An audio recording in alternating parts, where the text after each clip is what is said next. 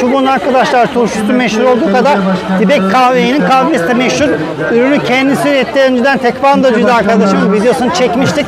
Biraz da sizden diyelim dinleyelim hikayesini hızlıca. Tabii biz çubukta imalatını yapıyoruz kahvemizin. Ee, çok çeşit kahvemiz var.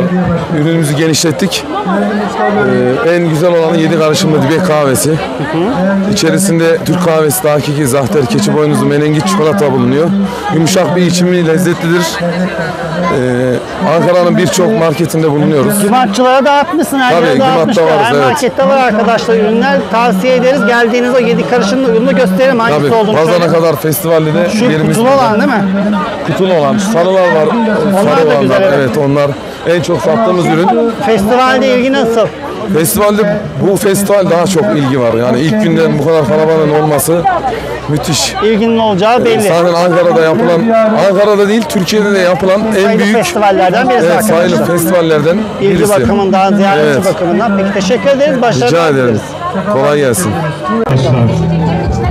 Halka hizmet, hakka hizmet şiarıyla